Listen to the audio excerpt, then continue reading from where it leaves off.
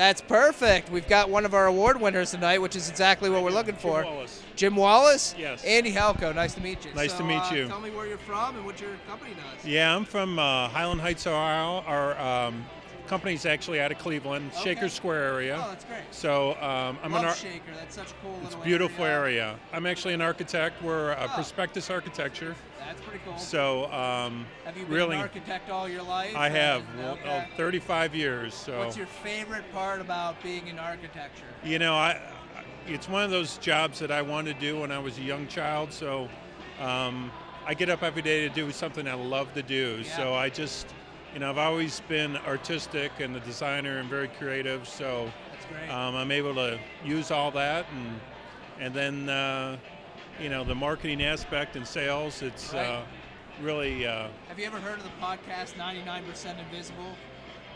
I have not. So there's this great podcast that I listen to, and it's uh, actually done by a couple architects, and they talk about you know the the hidden features behind Sure. buildings and why things were built that way, and it's really cool. For an Yeah. architect, I would think it I'll have be, to check that out for yeah, sure. you'll have to check it out. Yeah. It's pretty cool. No, I'm pretty lucky. I love what I do, and uh, you know I get to get to do it every day. yeah, So that's great. yeah. So uh, have you been in, involved with SME for a while, or I, I have been. pretty You- new? No, we've been uh, pretty involved in terms of. Uh, um, they do a lot of programming for um, architects, engineering, and Yeah. the built built environment. So there's a lot of um, opportunities for us to do that. Here in Cleveland, we also I go to some of the Akron and Okay. and and uh, Columbus What's the as well. Of your firm? How far do you guys? You know, we're pretty uh, uh, Midwest based, but we're Okay. going all the way from.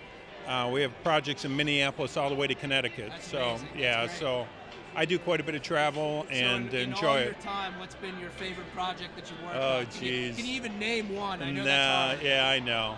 Um, recently, we did a new lab building for the Cleveland Clinic on 105th Amazing. and Carnegie. What so yeah, so that was uh, a great opportunity, but that's just one example, and Yeah.